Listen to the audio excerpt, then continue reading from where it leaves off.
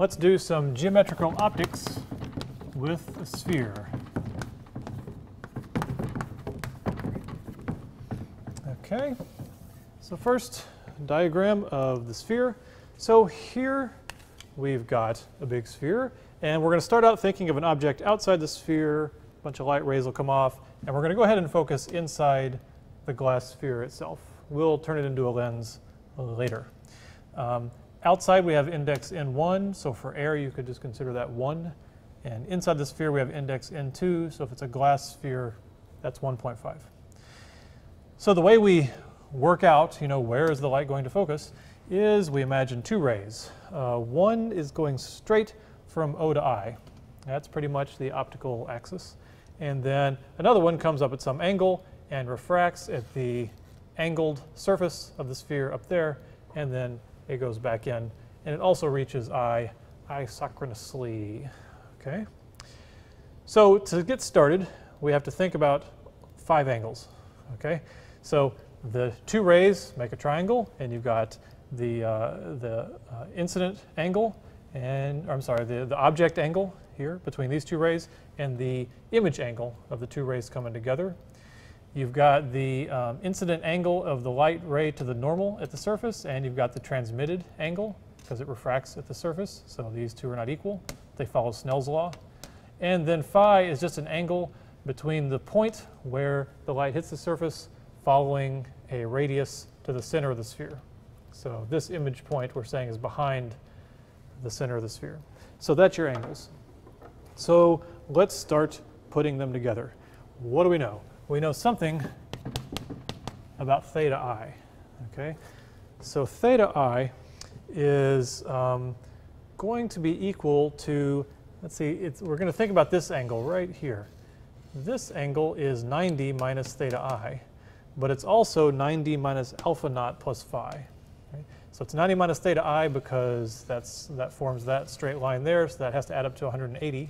And then it's 90 minus these two because um, the difference of those two and this has to be 180, or when you add those has to be 180 because it's a triangle. So basically, we know that theta i equals alpha naught, the um, object angle, plus phi. So there's one triangle to think about.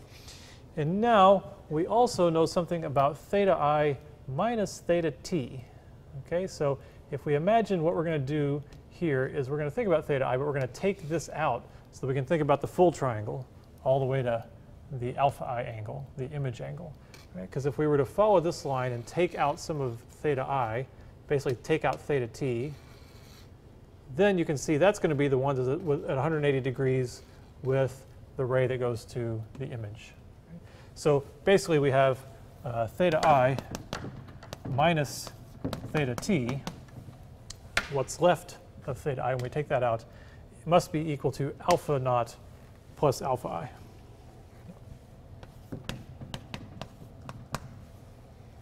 Okay, so that's how we get started um, with this derivation. We're trying to figure out if you have an object here, where does it create an image inside the glass? So you start out with several angles. Okay. Now let's say for small angles, everything we do with lenses is going to be in the paraxial approximation, which means both the angle of the rays always take small angles and they're always close to the axis. So really, if we're going to draw this realistically, almost all the rays would just be looking like they go straight.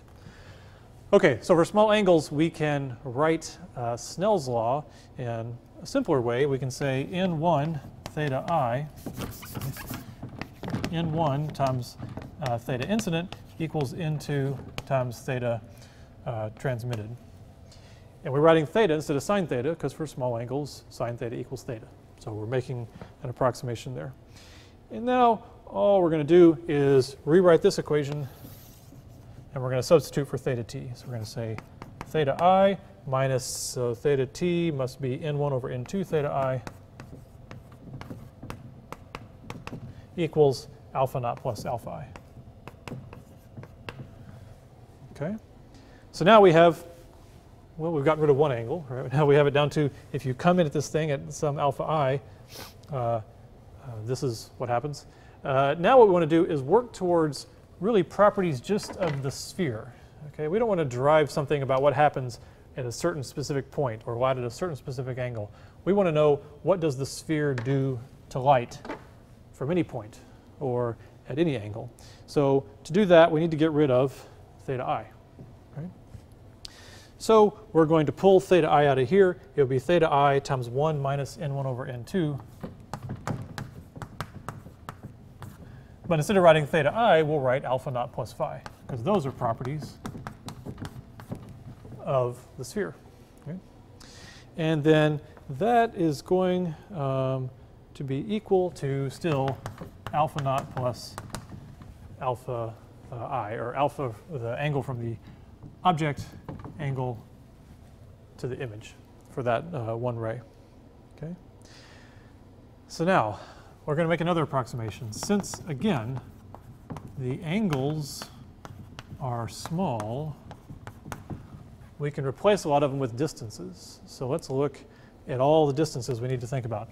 Now, if we're ultimately going to think about a lens, you want to think about the object distance from the object to the front surface of the lens. It's usually called SO. It's positive when it's on the left side of the lens. And we want to think about the image distance. That's usually from the front surface to wherever the image is. We'll call that SI. In this case, for a sphere, R equals the radius of the sphere. And we can define this point and call it H it's basically the height from the point along the optical axis up to where our ray we're considering hits the surface. There's a bunch of distances, the ones we think about when we figure out what a lens does. And so now we can rewrite um, all of these angles in terms of distances. So let's see. Alpha naught. What is alpha naught? So whenever you have a small angle, you can just say it's equal to the uh, part on the other side opposite the angle h, and since it's small, you could put it over this distance or this distance. You can put it over really either one, because for a small angle, those are basically the same. So it's going to be h over s naught um, plus phi. And let's see, phi is h over r. So si is too long. It's h over r uh, times 1 minus n1 over n2. Fine um, equals alpha naught, which we already did, is h over s naught, um, plus alpha i is h over um, si, approximately. All right, so now we want to simplify this. One thing you can do is pull an h, right? So the h's will come out of here, the h's will come out of here, all that stuff will cancel. And then you realize we have, we have to multiply this thing out, right? FOIL that. Well, the first term, 1 over s naught times 1, that's just 1 over s naught. And we have a 1 over s naught over here, right? So that goes away, and that times that goes away. So let's see, what's left is uh, minus 1 over s naught times n1 over n2. We still have to have that term. Plus, uh, 1 over r, that term minus 1 over r n 1 over n2, and that equals 1 over si. Okay, so we got rid of that one with that one. So uh, three terms left here, one term over there. And now let's see, what are we trying to do here? So now we want to keep simplifying things down. And let's see, we want to get all the r's and that stuff. We want to get all sort of the properties of where the object and the image occur, S, no, uh, S naught and SI on the left, and properties of the lens on the other side. Right? So we'll keep this 1 over SI, the image distance, and we'll bring this, um, oh no, I'm sorry, let's uh, multi th multiply through by um, N2. That's what we do, right? Yes, multiply through by N2.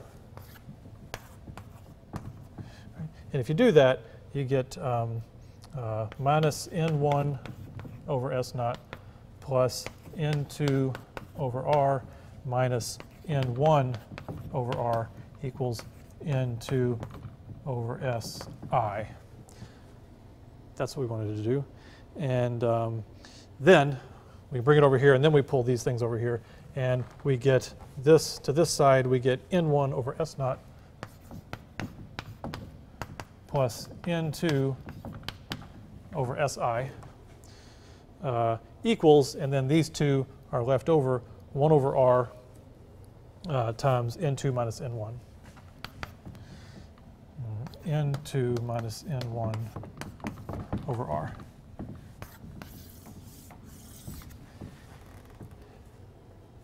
And that basically describes what happens when you create an image at, at a spherical interface. And you're creating the image still, we're inside the material, but it tells you if you put your object a certain distance from a sphere with a certain radius, and the index of refraction of the air in the sphere are these values, it'll tell you where the image goes. Within the limit of paraxial optics for very small angles and for very small heights, it'll image there. It won't be perfect, but the hyperboloid wasn't perfect, and the Cartesian ovoid weren't perfect either. There's lots of approximations. But that's where you start to think about a lens.